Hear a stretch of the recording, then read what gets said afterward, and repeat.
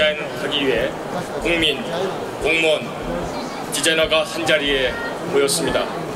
어, 반갑습니다. 행정자치부 차관입니다. 정재근입니다. 우리 정부 중에서 행복을 국정 지표로 담은 최초의 정부입니다. 국민 행복을. 그런데 여러분 어떤 때가 가장 행복하다고 생각하십니까?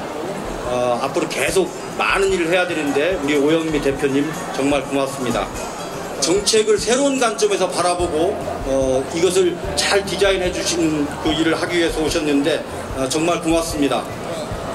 여러, 여러분들의 어, 노력이 다 어, 모여져 가지고 만들어진 자리라고 생각이 듭니다. 일반 시민으로 구성이 됩니다. 어, 올해 여러분들의 탐험 미션은요, 국민들이 일상생활에서 피부로 느낄 수 있는 정책 과제를 디자인하라입니다.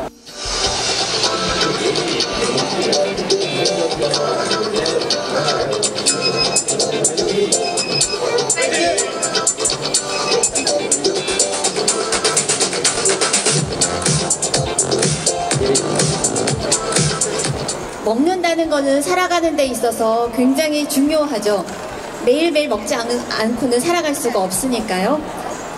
통계청뿐만 아니라 고용노동부, 보건복지부, 한국은행 등 다양한 기관에서 또 통계를 생산을 하고 있습니다.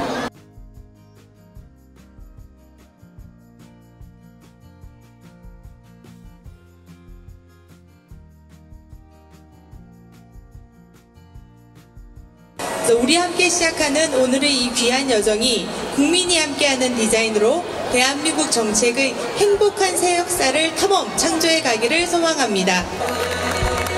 네. 아, 피켓이 있군요.